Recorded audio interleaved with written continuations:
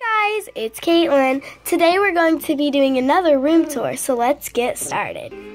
Okay, so here's the walkway to my bed, and you walk right into this table over here, and there is a little URU bag that has some just junk in there, a selfie stick,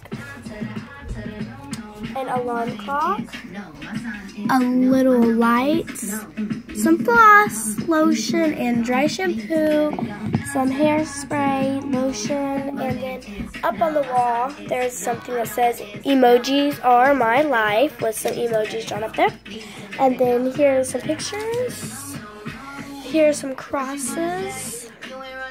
And then up here is my favorite quote. It says, Love is the master key that unlocks the gates of happiness. Emoji. And a letter K. And then here's a fan. A mirror. Febreze. And then I just have some jackets and stuff right here. And then there's the closet area. And then a dresser with a little orange pillow up here that I only use sometimes. And then here's a Scentsy in my backpack for school. And then there is my computer and my speakers. And I'm playing music on it. My keyboard and mouse. My chair. And then over here, there is the laptop. It's on charge. Another emoji. And then here it says Katelynn's desk area. And then there's some movies there. And then here there is some markers and tape and an air blower for the magic markers.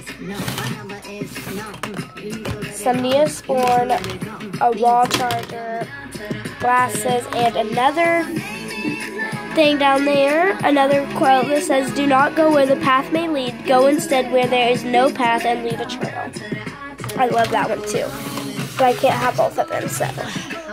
And then up in this cabinet, there is an extra phone case, some pledge wipes to wipe off the desk, and in here there's papers, and there's just some books right here, and a coloring book right there. And then